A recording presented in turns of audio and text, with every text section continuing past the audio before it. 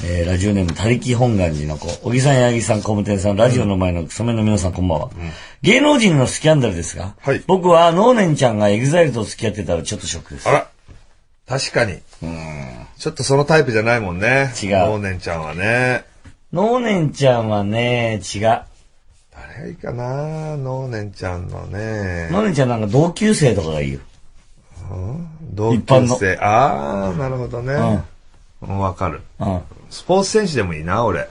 ああ、いいね。なんか、卓球の選手とか。あうんなんかそういう、有名なんだけどね。あ、あオリンピック出るような感じやけど、ちょっと地味なスポーツ選手みたいあ、な。ああ、うん。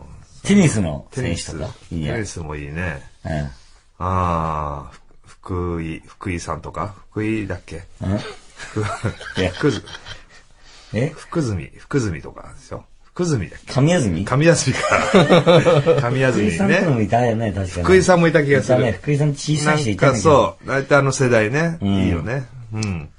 ラジオで